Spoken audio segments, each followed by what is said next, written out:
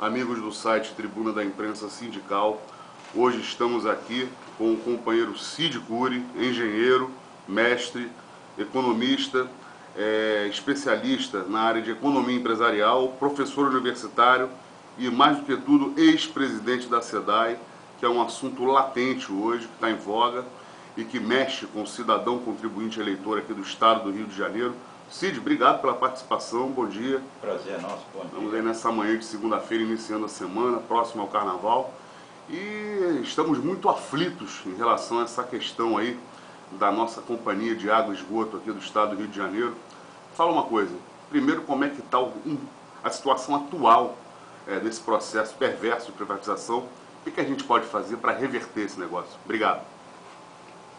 Ô, Mazola, o governo, ainda o governo passado, judicializou esse episódio, esse problema. E foi direto ao TJ para arguir a constitucionalidade da emenda Paulo Ramos, que retirou a sociedade da privatização. Então conseguiu eliminar e agora estamos na batalha judicial para que seja julgado o mérito e que não venha a ser permitido que a água do estado do Rio de Janeiro seja vendida. Cid, fala uma coisa para mim. É, isso é uma questão de moeda de troca, correto? Eles estão dizendo que o Estado está falido, correto? E a, a SEDAI seria a forma de amortizar essa questão, vamos dizer assim. Você concorda com isso? Não, não é verdade. O problema financeiro do Estado não se resume a um aporte de capital. Bota, coloca alguns bilhões e o Estado fica bem. Não. O problema financeiro do Estado constitui uma falta de entrada de dinheiro. Ou seja, todo mês tem que pagar pessoal, empreiteiro, os aluguéis, prestador de serviço, e não há entrada suficiente para isso. Então é um problema de fluxo de caixa, não de necessidade de um aporte pontual de capital. Isso não resolve. Isso serviria para empurrar o problema para frente dois meses, três meses, no máximo, e dar a falsa sensação de que melhorou a situação financeira do Estado. Não é esse o caso.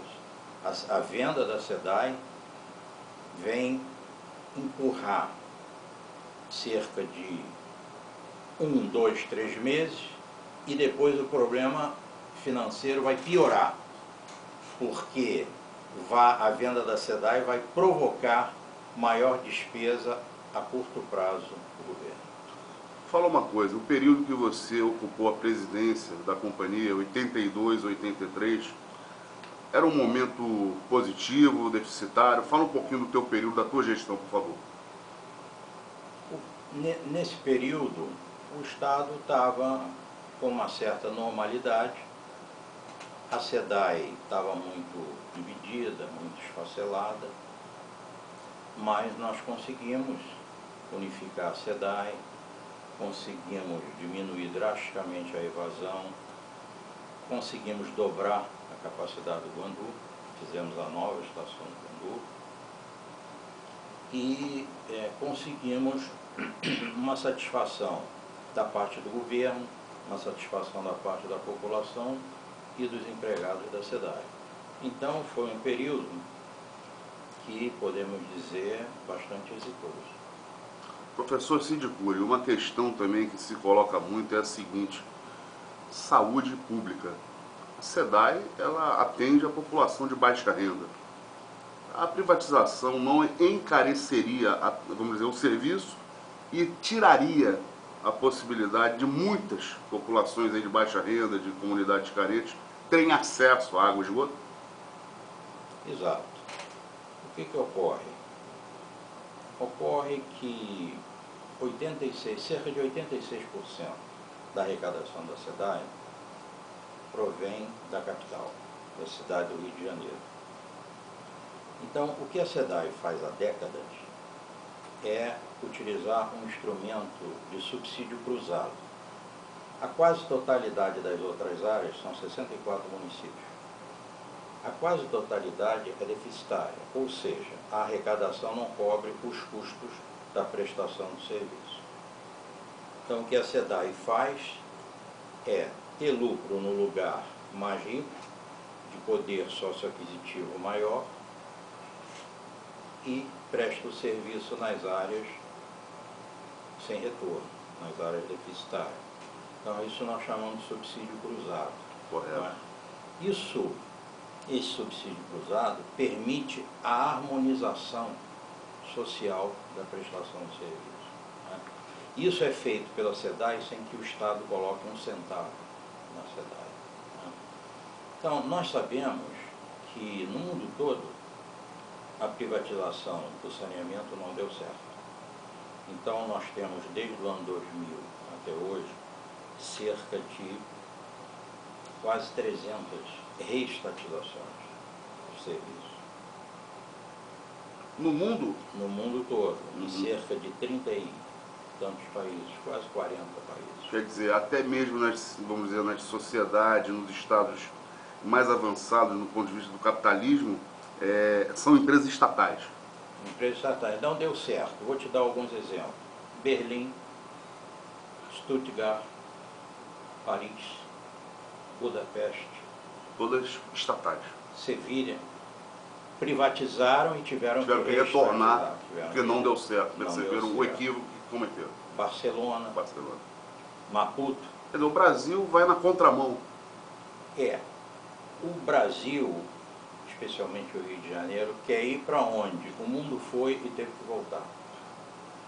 Não deu certo por basicamente quatro motivos. Evidente que existem outros motivos também. Mas poderíamos resumir em queda vertiginosa da qualidade de serviço, que provoca uma pressão popular enorme. Né? Falta de investimento pela empresa privada que recebeu os serviços aumento desproporcional das tarifas e abandono da população de baixa renda. Você ter uma ideia, em Berlim, onde a regulação é muito, muito forte, existe uma supervisão grande com base na regulação. E a municipalidade teve que retomar os serviços com prejuízo de 5 bilhões de reais. A pressão foi tão forte que resolveram então reestatizar e isso só foi possível pagando 5 bilhões de volta à empresa que tinha ganho a privatização. Então, 5 bilhões de reais para recuperar e ter de volta o que já era dela. Olha que situação triste. É. Em Buenos Aires, em Buenos Aires a situação foi muito drástica. Por quê? Depois de 10 anos da prestação de serviço, começou a surgir até problema no tratamento da água. A qualidade. Água, na qualidade. A água fugiu dos padrões preconizados pela Organização Mundial da Saúde. E começou a ter alguns problemas de saúde. Chegou um ponto em que o governo argentino resolveu não reestatizar, mas expulsar a empresa francesa que ganhou a licitação e prestava o serviço. E ela mudou de nome até quando saiu. Entendi. Cid, fala uma coisa para mim, você compreende. Ah, só, só para. Fica à vontade. Fica à vontade. E as instalações estavam em estado, estavam em estado precário porque não faziam as manutenções que tinham que fazer. Uma espécie de expropriação, né? É, é, uma, é, uma, é a maximização do, do, do lucro. Para maximizar o lucro, você tenta aumentar o faturamento e diminuir a despesa. E aí deu no que deu. Entendi. O que você entende que daqui para frente seria mais objetivo, uma, efetivamente, para tentar reverter essa lógica que você diz, que é indo na contramão do que já fizeram e O que seria possível? É atividade de rua, é população na rua reivindicando, é, é, no Congresso Nacional, qual seria a frente mais importante para que a SEDAI não passasse a ser uma empresa privada? Aí teríamos que atuar em várias frentes. Uma frente é na área do Congresso, sim, que a legislação não permitisse. Aliás, o Supremo Tribunal Federal já se pronunciou, pronunciou sobre isso, que foi quando o ministro Lewandowski é, determinou que para haver privatização de estatal tem que haver autorização do Congresso.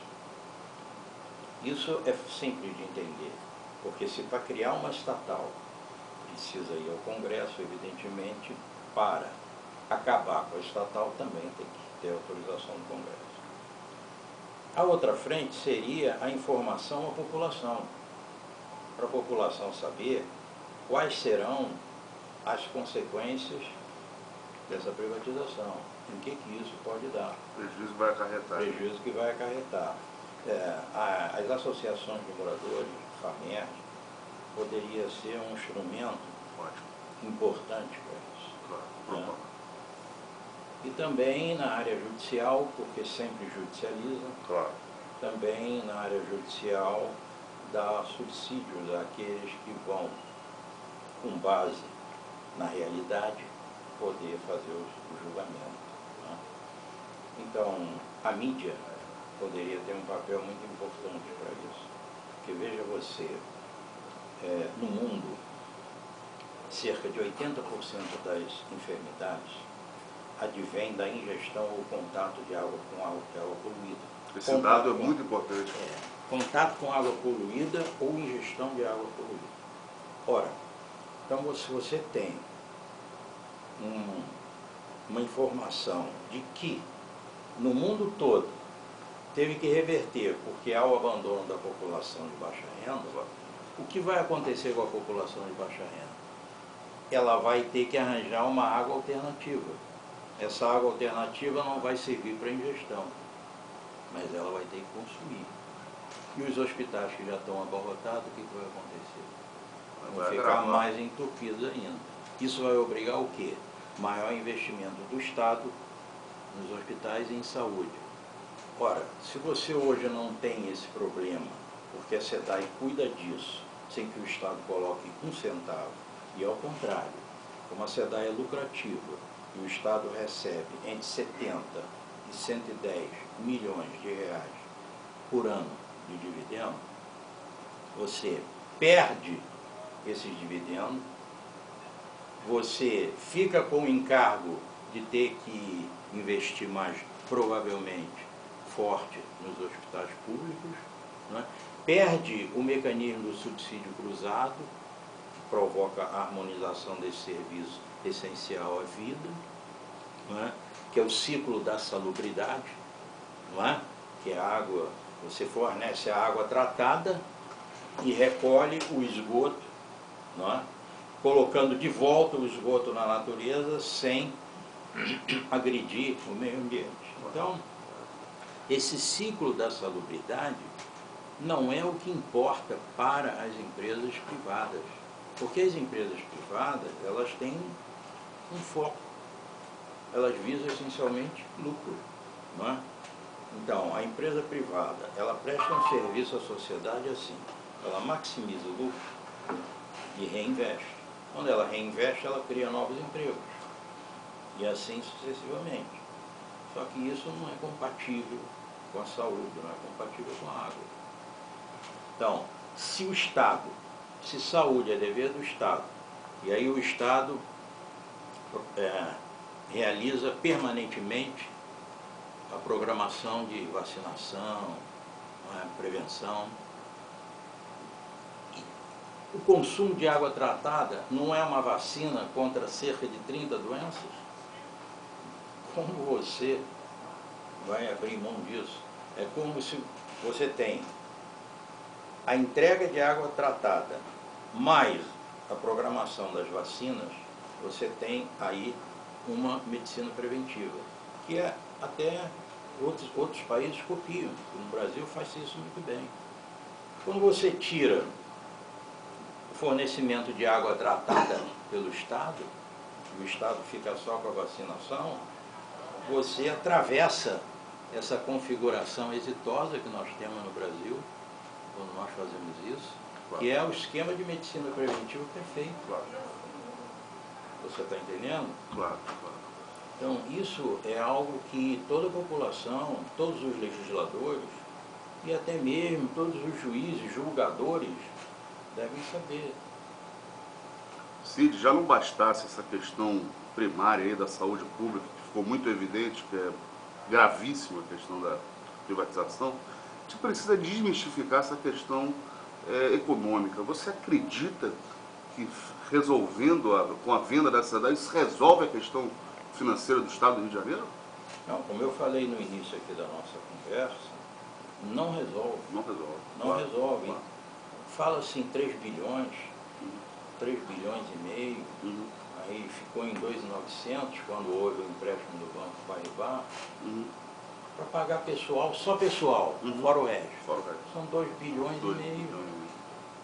Uma. Varia entre 2 bilhões e 100 milhões e 2 bilhões e 600. Não falta um exemplo da Vale do Rio Doce, outras empresas que se foram, e aí, o que, que aconteceu? Né? Não resolveu nada. Né? Em que que deu? Claro, perdemos uma questão estratégica, inclusive, né? Cid, a gente só pode agradecer a tua participação. É, hoje a tribuna da imprensa sindical está voltada para esse campo do trabalhismo, né? E eu queria que você deixasse um recado final aí, porque a tribuna tem lado, e o nosso lado é o lado dos trabalhadores. Fica à vontade. O recado que eu dou à tribuna da imprensa é que a tribuna da imprensa se engaje nessa cruzada pela informação à população que qual é a realidade da água, qual é a realidade da SEDAI, qual é a realidade sobre a privatização, o que está por trás disso, por que se não ajusta as finanças do Estado, quer se colocar como necessário para ajustar como o governo federal impôs ao Estado do Rio de Janeiro no governo anterior. Por que isso? Qual é a explicação para isso? O que está por trás disso? Claro. Claro. Há de ter algum motivo. Nós precisamos saber. Não é? Uma providência que pode agravar a situação financeira da SEDAI, que é a, a situação financeira do Estado, que é a privatização da SEDAI, é, o, o governo federal exigiu que fosse colocado no RRF, no regime de reajuste é, fiscal, fiscal, se ela não ajusta, e ao contrário, provavelmente vai agravar, qual é a explicação que o governo federal e estadual tem para isso? Que a tribuna da imprensa pergunte à população, será que alguém da população tem justificativa, tem resposta para essa pergunta? E mais ainda, uma coisa que não foi, nós não falamos, é que a SEDAI ganhou no Supremo Tribunal Federal a imunidade tributária. Então agora, a desculpa da venda da SEDAI é que tem que pagar o, aquele empréstimo do Banco Paribas de 2 bilhões e 900 mil. Só que a SEDAI, ao ganhar a ação, já transitou em julgado da imunidade tributária, a SEDAI vai ter entre 600 e 700 milhões de reais por ano para aplicar em saneamento em áreas deficitárias de baixa renda. E a SEDAI, por determinação do Supremo, vai receber de volta cinco anos e mais os dois anos que tramitou, a ação tramitou. Então dá cerca de 5 bilhões. Esses 5 bilhões servem para pagar o Banco Paribas. Então fica tudo resolvido. E a SEDAI passa a ter além do lucro que tem entre 400 milhões e 500 milhões por ano, ou seja, do lucro de em torno de meio bilhão, mais cerca de outro meio bilhão para aplicar em área deficitária, para aumentar a cobertura do serviço e universalizar a prestação de serviço em todo o estado do Rio de Janeiro. Ora, se for privatizada, perdemos isso. Ganhamos um aporte de 3 bilhões ou 4 e perdemos isso para o resto da vida. Quem vai optar por isso? Quem vai optar pelo pior? Qual governo que, tendo essa informação, vai dizer, não, eu prefiro perder dinheiro? Nenhum. Então, aqui é a tribuna da recado para a tribuna da imprensa. Diga isso para a população. Bom, ficou muito claro, então, é, a mensagem que fica para o nosso leitor e para o cidadão contribuinte da cidade do Rio de Janeiro é privatização da SEDAI não. Obrigado, Cid. Obrigado pela participação. É luta que segue. Obrigado.